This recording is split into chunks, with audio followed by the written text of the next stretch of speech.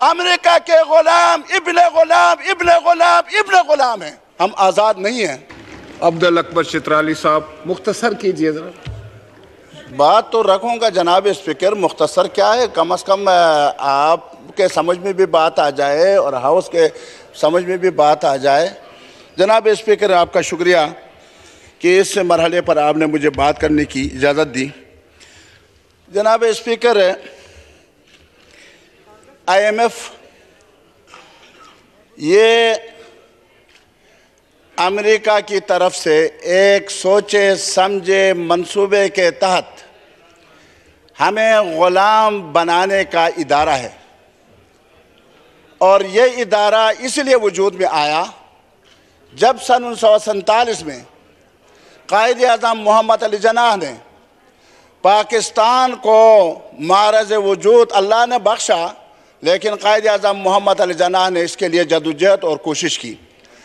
उसके, उस वक़्त से अमेरिका ये सोच रहा है कि किसी तरीके से ये तो ख़त्े के तौर पर जुराफियाई लिहाज से तो आज़ाद हो गए हैं, लेकिन इनको कैसे ग़ुलाम बनाया जा सकता है, ग़ुलाम रखा जा सकता है तो उन्होंने I M F, World Bank, ये चीज़ें मालियाती इदारे हमारे लिए ईजाद किए।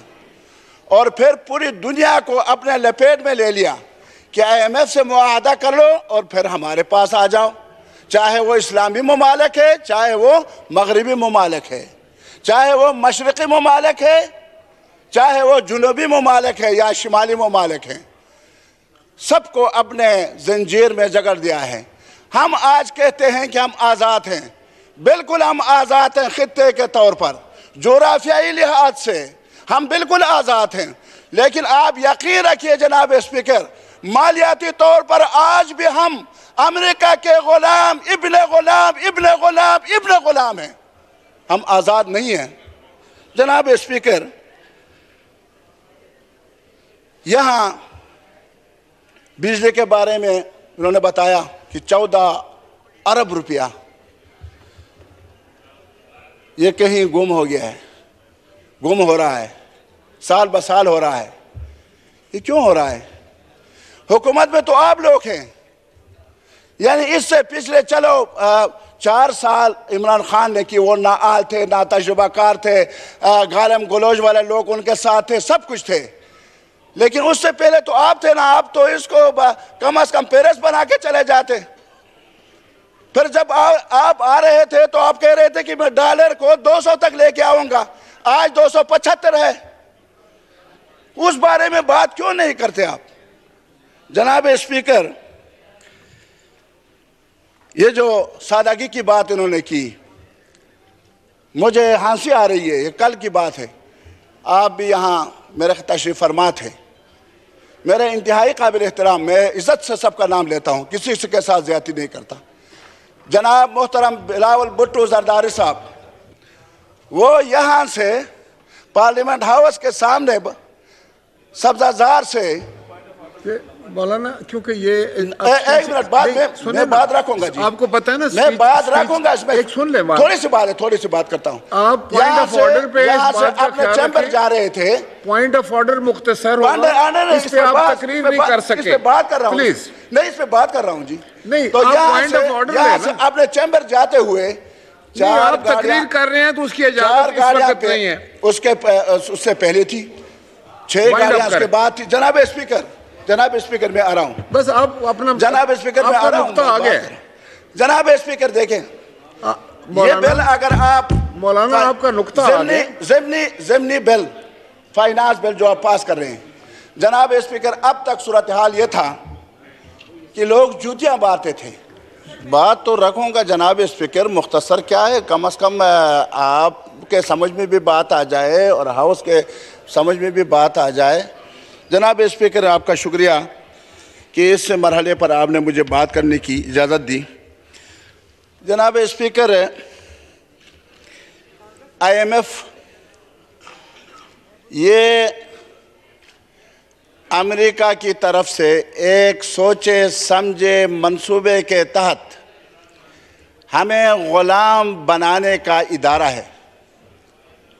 और ये इदारा इसलिए वजूद में आया, जब सन उन्नीस में कायद अजम मोहम्मद अली जनाह ने पाकिस्तान को मारज वजूद अल्लाह ने बख्शा, लेकिन कायद अजम मोहम्मद अली जनाह ने इसके लिए जदोजहद और कोशिश की। उसके, उस वक़्त से अमेरिका ये सोच रहा है कि किसी तरीके से ये तो ख़त्े के तौर पर जुराफियाई लिहाज से तो आज़ाद हो गए हैं, लेकिन इनको कैसे ग़ुलाम बनाया जा सकता है, ग़ुलाम रखा जा सकता है तो उन्होंने आईएमएफ, वर्ल्ड बैंक, ये चीज़ें मालियाती इदारे हमारे लिए ईजाद किए। और फिर पूरी दुनिया को अपने लपेट में ले लिया कि आईएमएफ से मुआदा कर लो और फिर हमारे पास आ जाओ। चाहे वो इस्लामी ममालक है, चाहे वो मगरबी ममालक है, चाहे वो मशरक़ी ममालक है, चाहे वो जुनूबी ममालक है या शुमाली ममालक है, सबको अपने जंजीर में जगड़ दिया है। हम आज कहते हैं कि हम आज़ाद हैं। बिल्कुल हम आज़ाद हैं ख़त्े के तौर पर। जोराफियाई लिहाज से हम बिल्कुल आज़ाद हैं। लेकिन आप यकीन रखिए जनाब स्पीकर, मालियाती तौर पर आज भी हम अमेरिका के गुलाम, इब्न गुलाम इब्न गुलाम इब्न गुलाम हैं। हम आज़ाद नहीं हैं। जनाब स्पीकर, यहाँ बिजली के बारे में उन्होंने बताया कि चौदह अरब रुपया, ये कहीं गुम हो गया है। गुम हो रहा है। साल ब साल हो रहा है। ये क्यों हो रहा है? हुकूमत में तो आप लोग हैं। यानी इससे पिछले चलो आ, चार साल इमरान खान ने कि वो ना आल थे ना तजुबाकार थे गालम गलोज वाले लोग उनके साथ थे सब कुछ थे। लेकिन उससे पहले तो आप थे ना आप तो इसको कम अज कम पेरेस बना के चले जाते।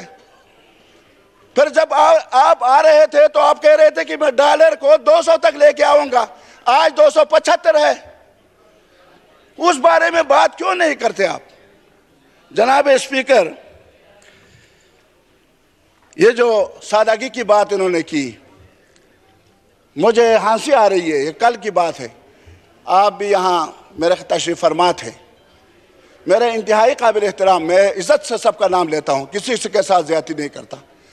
जनाब मोहतरम बिलावल भुट्टो जरदारी साहब, वो यहाँ से पार्लियामेंट हाउस के सामने सब्जाजार से मौलाना क्योंकि ये एक मिनट बाद में मैं बात रखूँगा जी। आपको पता है ना मैं बात रखूँगा इसमें। एक सुन ले थोड़ी सी बात है थोड़ी सी बात करता हूँ। आप पॉइंट ऑफ़ ऑर्डर पे अपने चैम्बर जा रहे थे। पॉइंट ऑफ़ ऑर्डर मुख्तसर इस पे आप तकरीर नहीं कर सके इस पे बात कर रहा हूँ। प्लीज़ नहीं इस पे बात कर रहा हूँ जी। नहीं तो पॉइंट ऑफ़ ऑर्डर अपने चैम्बर जाते हुए चार तकरीर कर रहे हैं तो उसकी इजाज़त नहीं है। उसके उससे पहले थी।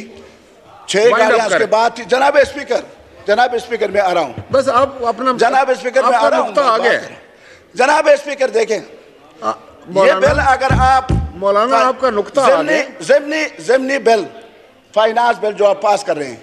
जनाब स्पीकर अब तक सूरत हाल ये था कि लोग जूतियाँ बांटते थे। मौलाना साहब आपने पॉइंट ऑफ़ ऑर्डर लिया है अभी आप दस मिनट बोल रहे हैं।